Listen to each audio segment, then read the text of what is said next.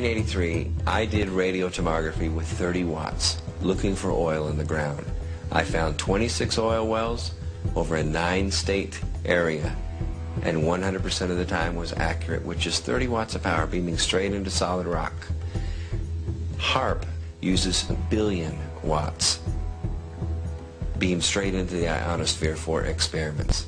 Picture these strings on the piano as layers of the earth.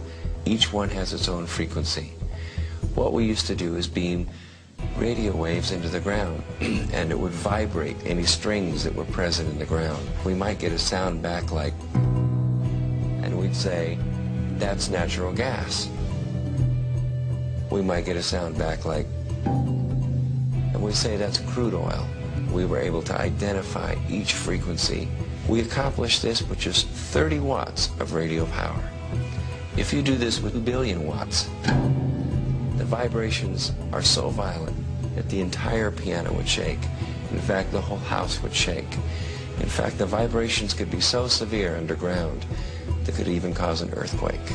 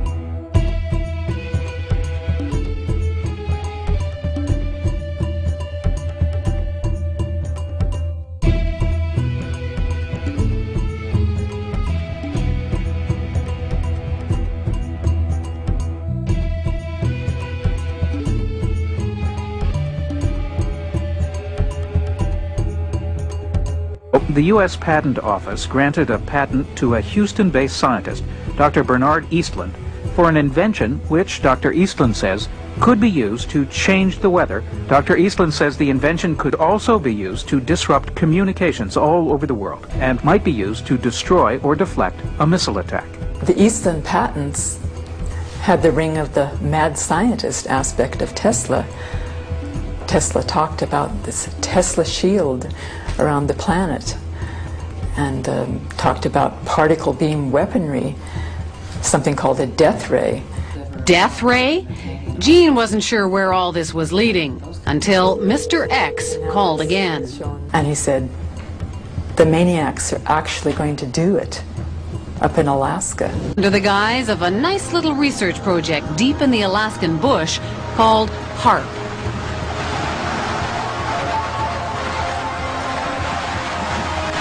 The uh, basic concept is to build a very large antenna, then to utilize a large amount of uh, power and uh, to beam those radio waves up into the upper atmosphere. Have you approached the Pentagon with this invention?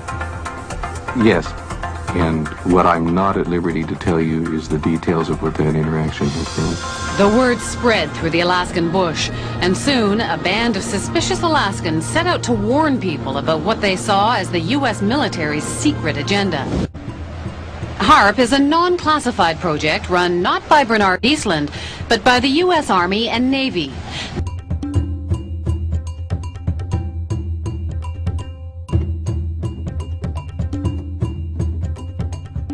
So how would you describe this world of E-Systems and Raytheon and HAARP? Dark.